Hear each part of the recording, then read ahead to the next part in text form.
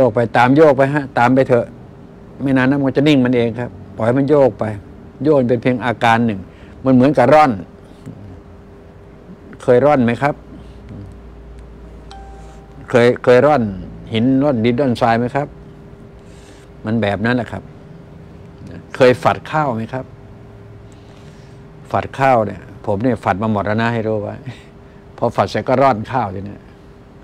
ร่อนข้าวข้าวเปลือก กับข้าวปลาย ต้องเก่งมากพอนะฮะร่อนข้าวให้รู้ไว้ต้องเก่งมากพอข้าวเปลือกนี่มันจะไหลมาทางตัวเราเอง ส่วนปลายข้าวก็อยู่ที่กระด้งปลายกระด้งแต่ตรงกลางก็เป็นเม็ดข้าวทีนี้ครับใช่ไหมตอนลุงทำเป็นหมดนะ ให้รู้ไว้ ฝัดข้าวร่อนข้าว ลุงทำเป็นหมด รับรองได้เลยนะครับ กระด้งกระเด้งแต่สารไม่เป็นนะ สารกระด้งไม่เป็น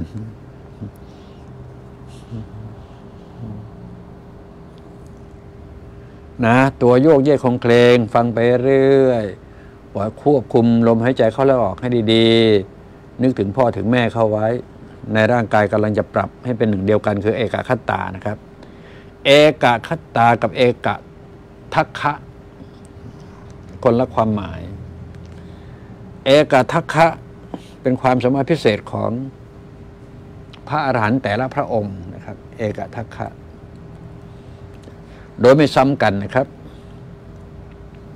พระอรหันต์แต่ละพระองค์จะไม่ซ้ำกัน รวมความสามารถแต่ละพระองค์ของพระอรหันต์ทั้งหมด รวมแล้วจะเท่ากับหนึ่งพระพุทธเจ้านะครับ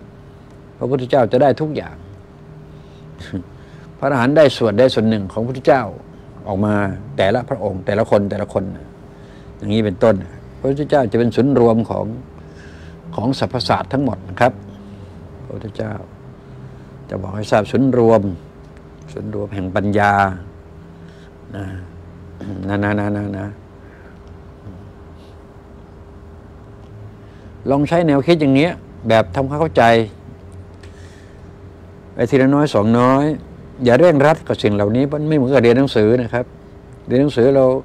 ฟังบรรยายครูจบปุ๊บครูออกข้อสอบมาก็ใส่เข้าไปตามนั้นเลยมันง่าย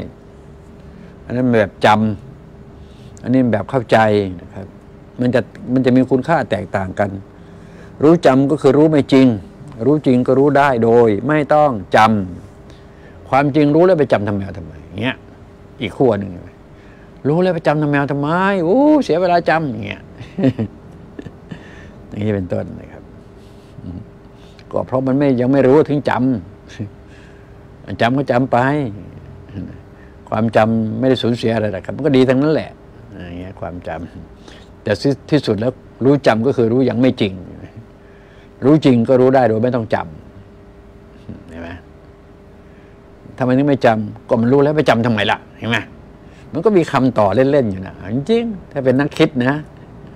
มันก็มีคำต่อไปเล่นๆให้เราคิดตามไปเรื่อยอย่างเงี้ย